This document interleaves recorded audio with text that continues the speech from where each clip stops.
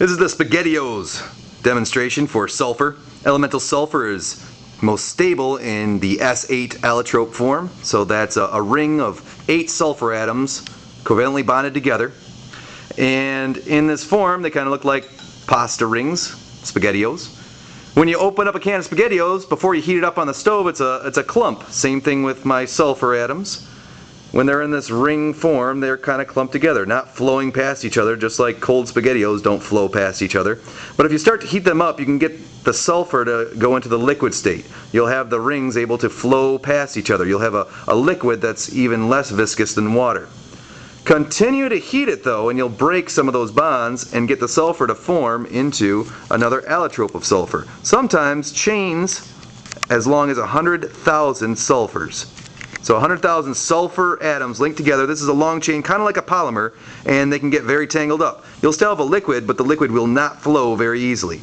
Continue to, uh, to heat the sulfur, and you'll actually break those bonds up, and it's kind of like taking spaghetti strands and cutting them up. You'll have a black, easy flowing liquid again. And what we're going to do once we create that liquid, once we have change the sulfur to black sulfur, we're going to super cool it by placing it inside of this water. The aluminum foil is in there just so it can catch the sulfur and I won't have a huge mess inside of my beaker. So I've got a water uh, amount of water in there along with some aluminum. Okay, so we'll go ahead and start heating our sulfur using our Bunsen burner.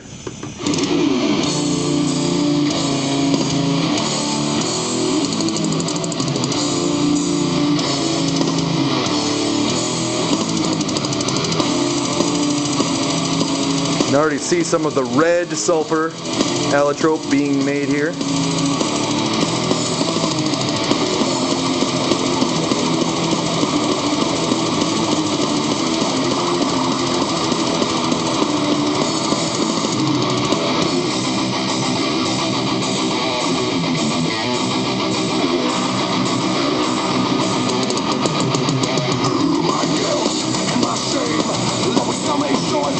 Here's our very viscous red sulfur, which cannot be poured out of the test tube.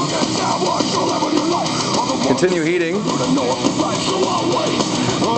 until it starts to boil. We'll have black sulfur. Oop, there it is, definitely boiling. Got black sulfur. Now we're going to super cool it.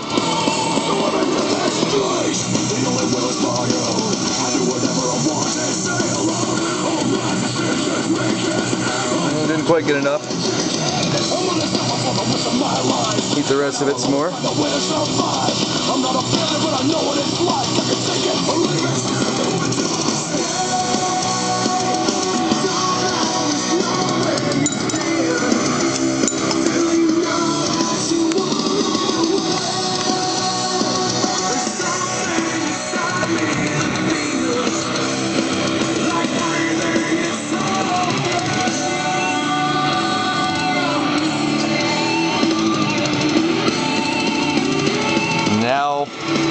Here's our black sulfur, and you can see that it's been super cooled. So it's a solid again, but it was not allowed to form the nice yellow ring structure. Instead, this is like a plastic version of sulfur.